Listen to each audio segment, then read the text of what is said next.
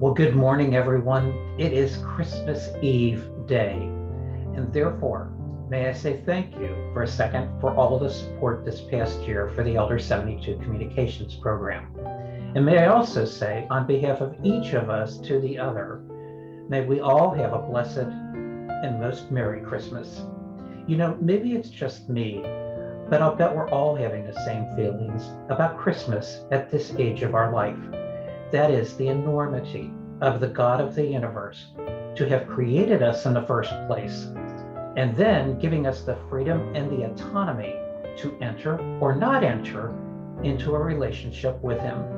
But then, if one chooses a relationship with God through Jesus and we mess up in sin, we are promised continual grace and forgiveness each time.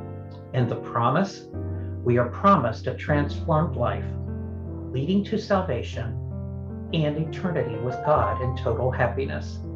And thus, perhaps that's where we stand in December of 2021 on that path home to heaven. So may we say, Lord, thank you for this past year.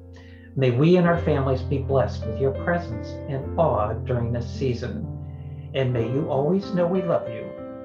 And we're looking forward to an eternity to give you glory praise, and honor. Merry Christmas, everyone, and thank you, Lord.